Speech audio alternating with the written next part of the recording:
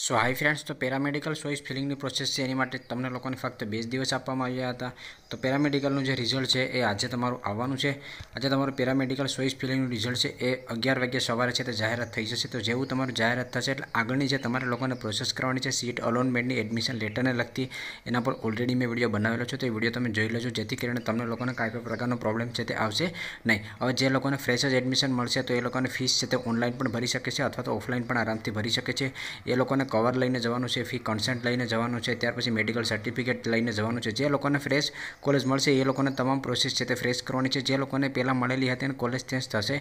તો એના જે ડોક્યુમેન્ટ છે, એના હેલ્પ સેન્ટર પર જ હશે, પરંતુ એ લોકોને જો કોલેજ ચેન્જ થશે તો નવો એડમિશન છે, તે હેલ્પ સેન્ટર પર જઈને લેવા જવાનું છે.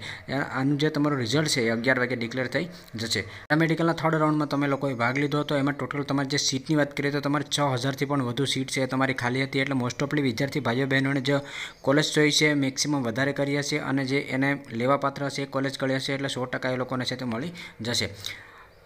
સેકન્ડ રાઉન્ડમાં બને ત્યાં સુધી તમામ લોકોને કોલેજ છે તે મળી ગઈ હતી, પરંતુ મોસ્ટ ઓફલી વિદ્યાર્થીઓએ પ્રવેશ છે તે કન્ફર્મ કરાવ્યો ન હતો. જેના લીધે છ હજારથી વધુ અત્યારે સીટો છે તે ખાલી છે.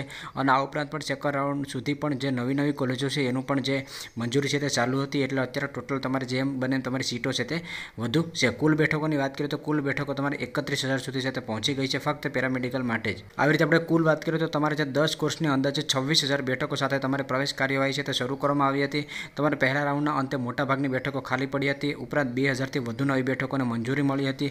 તેને પણ પ્રવેશ પ્રક્રિયામાં સામેલ કરી દેવામાં આવી હતી. બે રાઉન્ડના અંતે હાલ અંદાજે બાર હજાર ત્રણસો બેઠકો એવી છે કે જેના પર વિદ્યાર્થીને પ્રવેશ ફાળવી દેવામાં આવ્યો છે અને જેની સામે અંદાજે બાર હજાર બેઠકો એવી પણ છે કે જે તમામ વિદ્યાર્થીઓને ઓફર કર્યા પછી પણ છે તે ખાલી પડી છે. મહત્વની વાત એ છે કે બીજો રાઉન્ડ પૂરો થયા પછી પણ કેટલી કોલેજોને મંજૂરી આપવાનું ચાલુ છે. આમ અત્યાર સુધીમાં પેરામેડિકલમાં કુલ બેઠકોની સંખ્યાની વાત કરીએ તો એકત્રીસ હજાર સુધી પહોંચી ગઈ છે, જેમાં બાર હજાર બેઠકો પર પ્રવેશ આપી દેવામાં આવ્યો છે અને એની સામે બાર હજાર બેઠકો એવી છે કે જેમાં વિદ્યાર્થીઓને ઓફર કરી છે, પરંતુ પ્રવેશ છે તે લીધો નથી. હાલમાં ખાલી પડેલી સો હજાર બેઠકો પ્રવેશ માટે ઓફર કરવામાં આવશે. વિદ્યાર્થીઓને આપેલી ચોઈસના આધારે આવતીકાલે એટલે કે આજે કોલેજની ફાળવણી કરી દેવામાં આવશે. આ રાઉન્ડમાં ખાલી પડેલી બેઠકો પર જે તે કોલેજના પરત આપી દેવામાં આવશે.